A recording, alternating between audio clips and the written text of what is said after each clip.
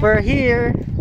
Uh, maglalakad-lakad kami or maglalakad kami papuntang Walmart. So ito, ang sarap maglakad, malamig, and tahimik ang mga kabahayan. So itong mga mga chikiting lang ang maingay ata dito. Ayan. Say hi. Hi. Hi. nice to meet you. Yeah. So yun, kita tayo mamaya sa Walmart. At sa iba pang mga madadaanan natin, papakita namin sa inyo.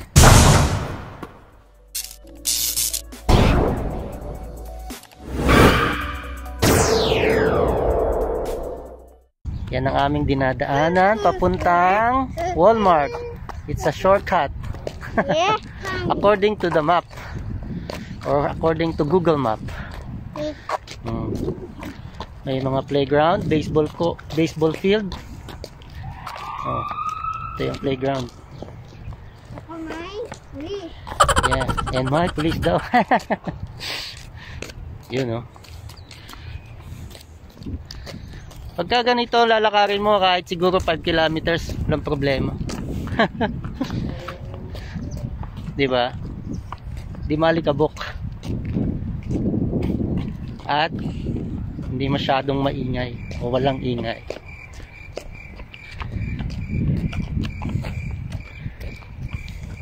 Tapos sa gilid ay yung may isa pang kulit. Ewan, parang kabahayan or community center. Sa mga maghahanap naman ng mga apartment dito sa malapit sa Pancho, kung ikaw ay student, ah, sa dinaanan namin sa Godfrey Street, maraming ah, ah, rentals. Yan, tulad niya yung mga apartment. Yan, hanggang dun. Ayan. So, yan na lang siguro sa mga student, lalo na sa mga single single student na pupunta rito. Godfrey Street, malapit na kami sa Walmart, isang tawid lang. So, malapit lang yung mga apartment na yan dito sa mga amenities sa labas. Walmart, PetSmart, and Scotiabank. Ayan. And Shoppers Shoppers Drug Mart. Drug Mart. Ayun. A few inches later. So, dito na tayo. Dito muna tayo dumaan sa Dollarama. At ito kailangan natin hanger. Ayan, dami. And dishwashing liquid. Ayan. So, dito muna tayo sa household area. And uh, yung isa, atat nang magpabili ng toy. Pero sabi ko sa kanila, mamaya na lang. After namin bilihin yung aming mga kailangan. So itong Dollarama para siyang uh, Unitop or New Star sa Laguna. So medyo cheap yung uh, bilihin dito compare sa Walmart. So daan muna kami dito. And then later siguro pag may time punta kami ng Walmart. Okay? Boing, boing, boing. What? Ready? Ready? Hmm. Daddy, gusto ko yung ganito yung may bag. Ready, look at me. Yung may bag, gano'n, gano'n. Ah, ganon. Ready, look. Ready. Ah. Gusto ko yun eh. So, eto na. Yung iniiwasan natin lahat para sa kanila. Ang toy section. Nagtuturo-turo na sila. OMG. And, ito na yung pinamili ni Mami Yo. Ayun. Puno ang cart. Puno ang cart. Which Kulang is, pa ito. Kulang pa. Yes. Mukhang nalilibang na naman siya. Hindi tayo mag event ha. So, feeling niya mag styling siya sa loob ng bahay. Wow! Ay,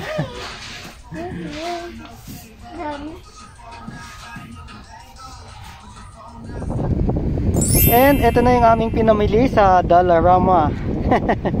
Puro pang household lang ito. May mga hanger, dishwashing uh, ito, baso, and ayan, tissue, Wales. So, yan. And ngayon naman sila Mami Yo nandun sa Walmart for uh, grocery. And since nga wala silang package counter sa loob, dito muna tayo mag-aantay sa labas. Kaya kung kayo, kung magiging student kayo dito sa Canada, most especially dito sa Fanshawe, so katulad ng sinabi ko kanina, malapit lang ito sa mga amenities. Meron siyang Walmart, and may Dollarama, may Bank of Montreal, Shoppers Drug Mart sa front o sa kabila, and Scotiabank, and KFC, meron din dito, McDonald's sa kabila, nandun, and marami, maraming mga kainan dito, dito sa vicinity na to. So, naglakad kami kanina, kita nyo naman ha, Ah, enjoy naman yung paglalakad at saka maganda yung panahon ano. And may malapit, may malapit na ring school dito ng mga bata. So kahit pwedeng pwede na ring lakarin. Ayun. So A&W meron din dito.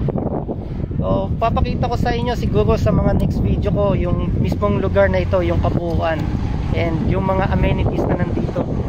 Ito, nandito tayo sa mga car park. so antayin natin si Mami Yo kung nasa magkano yung kanyang mabibili and ito mamaya titignan natin yung resibo kung magkano and i-fix natin or ayusin natin pagdating natin sa bahay ano. At marami-rami pa tayong gagawin. So see you later and ciao. And ito na tayo mga kano kakarating ko lang nag-taxi na kami. Kasama yung aking bunsong anak And uh, ito, yung aming pinamili. Actually, hindi pa nga yan tapos. Kasi si Mami Yo, andun pa siya sa Walmart. Kasama yung aking isang anak. Buti naman, mabait din yung uh, Uber. Uh, yung driver ng Uber. Kasi, ayan. Okay lang sa kanya na isinakay namin yan. Ganyang karami. So, pinaliwanag ko na lang sa kanya no, na bago lang kami dito.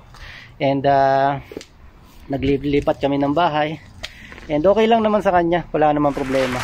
So sobrang uh, bait din ng uh, Uber taxi na yan. Medyo hinihingal pa ako no kasi binilis, binilisan ko yung uh, pagbaba para hindi naman nakakahiya sa kanya. So thank you sa iyo Uber. Uber driver. Kung sino ka man. Maraming salamat. So ipasok ko muna ito no.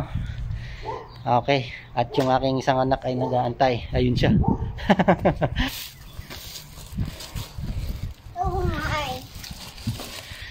It's not big. Ayan.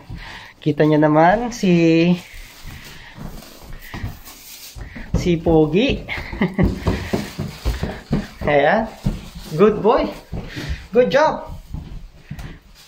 Ayun, nilalagay na niya yung kanyang unan sa kanilang bed. And then, kunin pa natin yung iba. Pansin ko, konti lang siya pag pinagsama-sama, no?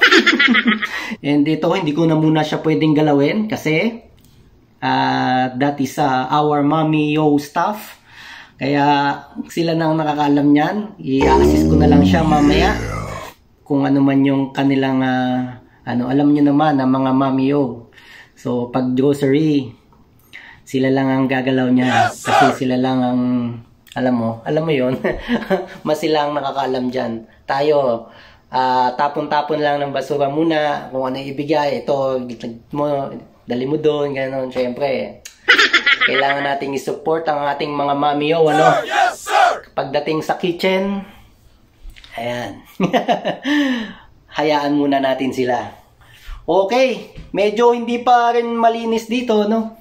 Sa loob, at uh, unti-untiin nating linisin yan. Ito, yan ang aming kusina.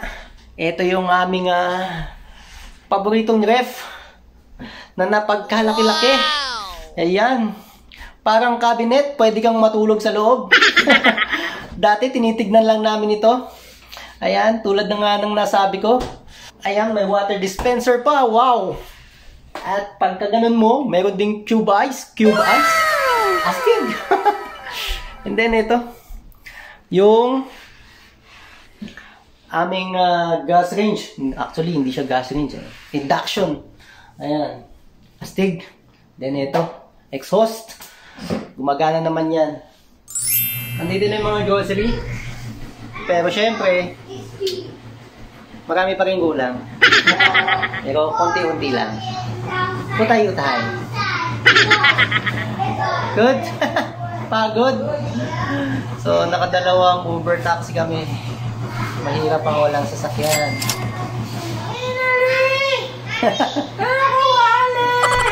Ito, isa sa mga gusto rin niyang binibili. At ibabato daw niya to sa akin pag hindi ako nakahanap ng trabaho. Pagdating sa mga grocery and all, wag mo yung gagalawin. Siya lang ang gagalaw niyan. You don't scare me! Work on it! Sir, yes, sir!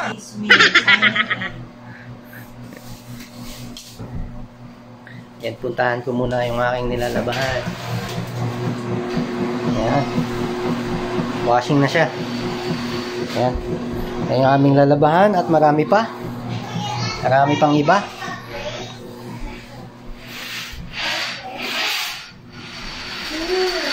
Wow, ang ganda. Kala ko ano eh. Kala ko pamaypay. O yung ano, sombrero. Eh. yes, yes, later I will help you there. Will. Magpi-fix lang kami ni Mami ng mga gamit. Waste another day, eyes on my display.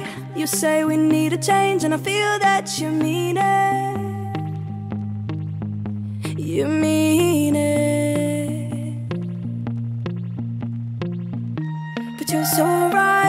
we're losing track of time. Buying things online, and it's not like we need them. We don't need them. So can we just slow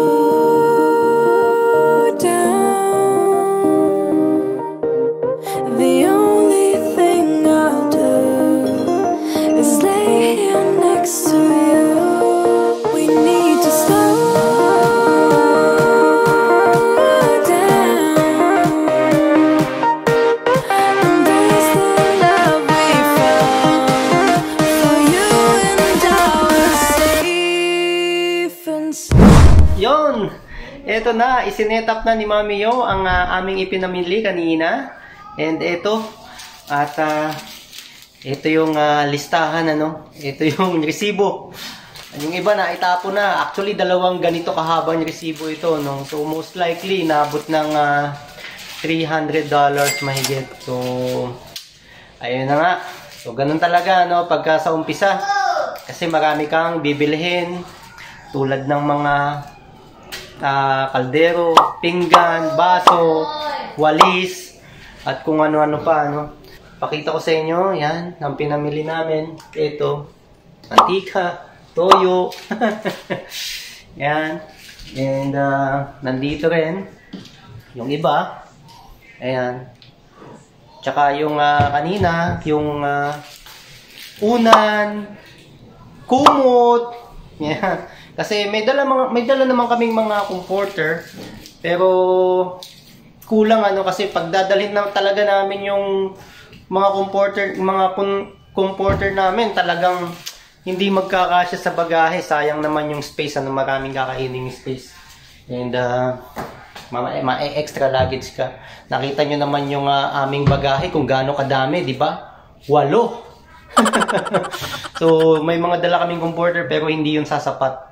Kaya, bumili na rin kami. Tsaka yun, yun nga, kunan, kumot. Ito namang uh, rice cooker, binili namin ito nung nasa hotel kami, nung nakalabas na kami, nung after quarantine. So, yun, medyo naka-menos din. So, napaka-importante yan, rice cooker na yan. Ang laking itinulong sa amin yan nung uh, kami nag-quarantine.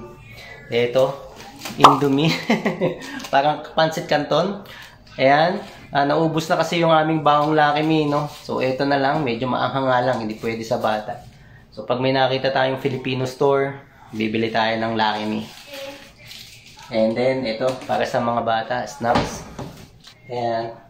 Kutsara, tinidor. Ah, paper towel. Yan. Ito, mga pinggan. Ikaw, mga kaano. Siyempre, kailangan mo to pagka maglilipat ka talaga. Pag bago ka rito, kailangan talaga. Yung aming ref, hindi namin napuno. Actually, hindi mo naman kailangan punuin, ano, yung talagang ah, pang ano lang talaga, yung kailangan lang at ah, pang tawid gutom ba para sa mga bata. Saka na yun, pag meron na tayong ah, ah, pinagkakakitaan or trabaho, no? So, ngayon kasi, since na wala pa tayong trabaho, kailangan muna nating magtipid. So, yun, kung bago ka rito sa aking channel, pinapakita ko rito mga kano, yung aming pinakaunang gastos nung aming pag-move in dito sa aming ah, inuupahang bahay. And ang aming journey mga kano, sana nasusubaybayan mo at sana nagustuhan mo ang video na ito mga kano.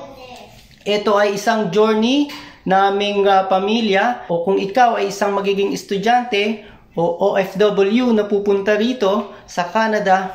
So ito yung ating paghahandaan ano mga kano at least meron ka ng idea no. And kailangan din konting tipid. Okay, kakain muna tayo. Yeah. Ayan, kain na tayo. And uh, yan ang aming uh, munting hapagkainan. Ang ulam namin, yung... Sardinas! Oh, Social, di ba? And ito, ang mga paborito ng ah, mga bulogs. Bulgoys. Ah, hindi pala. Ng mga pogi. Tapos na kaming kumain ng aming tanghalian. And ah, mamaya naman magliligpit. And ah, dito ko muna tatapusin itong aming ah, vlog for today. Kung meron kayong mga comment, just comment down below. And please don't forget to subscribe and like and push the notification bell para lagi kayong updated sa aking mga Now all i-upload we na. need is right here in So, front see of you. us. God bless and front of bye. us. So can we just stop?